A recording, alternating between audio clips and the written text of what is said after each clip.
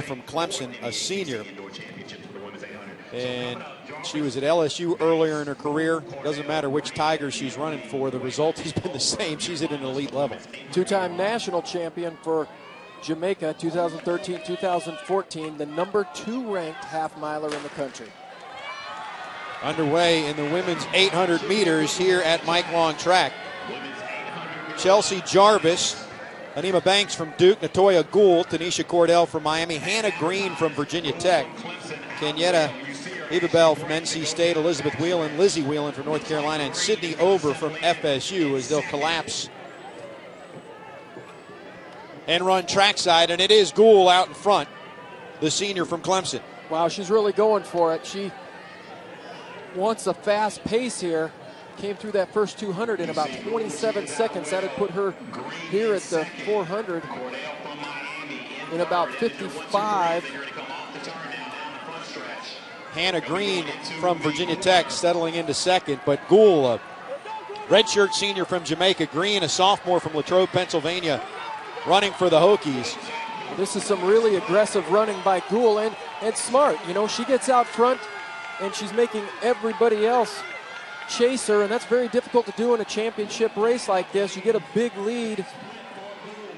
Well, Hanna Green was the runner up in this race a year ago at the ACC Outdoors, won the 800 indoors this year.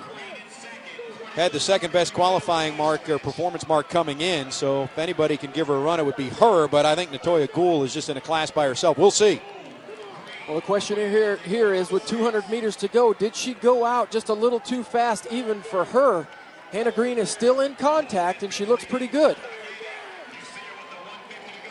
They head into the final turn, and here in the women's 800, it's Natoya Goule and Hanna Green. Green giving it a go. Green coming up on the outside of Goule. It's Goule and Green. Hanna Green, runner up a year ago, trying to chase down a three time national champ. Goule trying to find more in the tank.